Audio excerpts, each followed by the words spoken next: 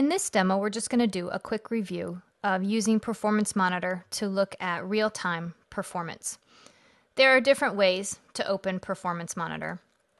From the Start menu, you can select All Programs, Administrative Tools, and then Performance Monitor.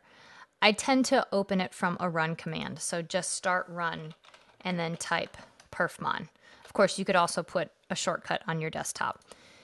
Once you're in Performance Monitor, by default, it shows the percent processor time counter, but I typically want to look at additional counters. So to add those, you're going to use the green plus icon up at the top. So we'll go ahead and add a few counters. And we're going to get into the actual counters in more detail. But for now, let's just look at physical disk and we'll look at average disk seconds per read and per write and I just use the control key to highlight multiple counters.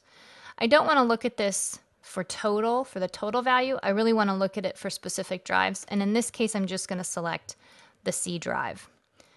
I'm going to go up to memory, and we will add available megabytes. And then I want to add one SQL Server counter. And I want to point out that I've got two instances of SQL Server installed on this machine. And that's important because when you're selecting counters, you want to make sure you have the right instance. So I have a 2008 R2 and a 2012 instance. And if you've ever done this, you know that it's really frustrating to select a counter and then wonder why you're not seeing any values for it. And it's because you have the wrong one selected for the wrong instance. So we're going to add batch requests per second. And now we've got this information, these counters, and let's generate some load here. And so I'm just going to run some PowerShell scripts that are going to go behind the scenes and create some activity for us. All right. So within Performance Monitor, we should start to see activity pick up. And depending on how many counters you've selected, understanding what a value is can get a little bit tricky. I tend to highlight the active counter. So there's a highlight icon up here at the top. And then whatever counter I have selected below shows up in bold. So this is nice. I get an idea of what percent processor time looks like a little bit better. I can see that I have a lot of available megabytes, and this number is above my scale. It's above 100. And so in that case, what I might do is look at the values down here at the bottom, which give me the last value, the average, the minimum, and the maximum. Batch requests per second, those have definitely started to jump. And so again, I'm selecting the counters that are of interest to me. Now, some people want to look at the actual numbers and they don't want to have to flip between the counters at the bottom to see what the last value was. And you can use a different view in Performance Monitor, which is the report view. So we just go up and we change this to the report view, and that will show the current values. And again, your preference depends on how you like to look at that data. I tend to use the graph view. I know other people who really prefer the line view, whatever works for you. So now that I'm looking at performance, there are different things that I can do with my display, which I talked about before. And I'm just going to touch on a couple of them because if you go into the properties, you'll see this is the properties icon up here, or I can right click and select properties there are a lot of different tweaks that I can make. For example, if I don't love this green color, I can change it to a bright pink. But this is in the details, right? I really just want to look at my data. One thing I want to point out is that I mentioned before that by default, Performance Monitor only shows you the last or shows you 100 seconds worth of data. I can change this here. I typically don't. Again, I'm typically just looking at the last minute or two of data. That's what matters right now. But there are times when I've wanted to freeze a display, I've wanted to have something on the screen, but I still want to continue monitoring performance. And what you can do is you can actually pause.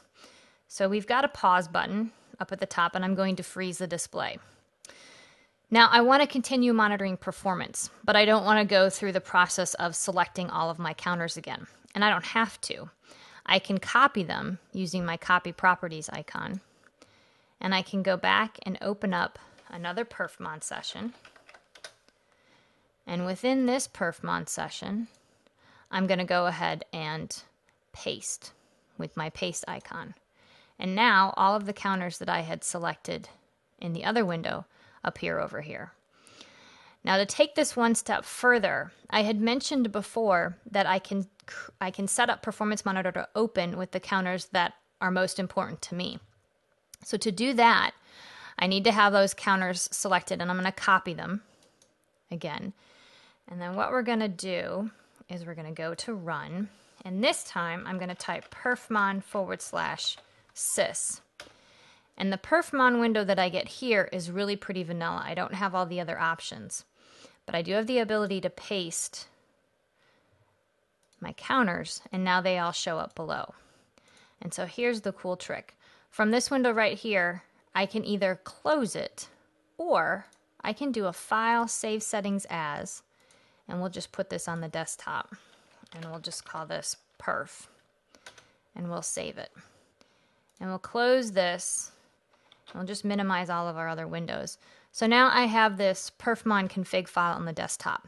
And if I double click on this, perfmon opens with those counters already selected. So this is what I mean when I say that Performance Monitor is just as fast as opening Management Studio and querying the DMVs. I've got it set up so that the counters that I care about are already there. And so when I have a performance problem, I double click on that file, that perfmon sys configuration file. I open this up and I can immediately see what's going on, and then at the same time, I'm going to open Management Studio and I'm going to pull my baseline information. And so we'll get to that in just a minute. Hopefully, you picked up a few things here. Thanks for watching.